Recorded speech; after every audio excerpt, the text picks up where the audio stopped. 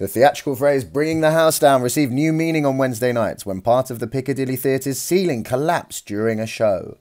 Emergency services were called and the audience evacuated after the ceiling crashed into the auditorium 20 minutes into a performance of Death of a Salesman. Two days on, I spoke to Jameel Kahn, the on shift manager at the neighbouring Queen's Head pub on the night of the incident. Oh, so I was next door.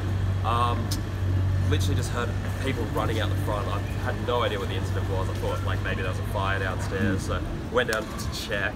Like the people downstairs, they were absolutely amazing. Like getting everyone their, out of their buildings first priority. It wasn't until I talked to some of the actual customers next door that they were saying that some of the roof had actually caved in. Three men and two women were treated at the scene for minor injuries, but the vast majority of the 1,100 strong audience were evacuated before the emergency services arrived. I think there was a bit of confusion in the air at first. Um, like, you know, your first instinct when you see a bunch of people running is probably thinking yeah. worse. So it's a bit of relief that it was just that no one was actually hurt. Thankfully, the stretchers weren't required, and even the cast themselves assisted with the evacuation process.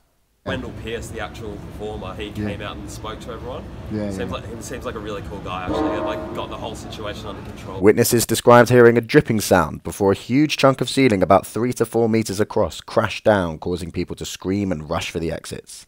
The theatre staff were roundly praised and were rewarded with a drink in the Queen's Head once the incident was over. Like we had a bunch of the staff come next door and just you know have a drink to yeah. ease their nerves, which I think they needed.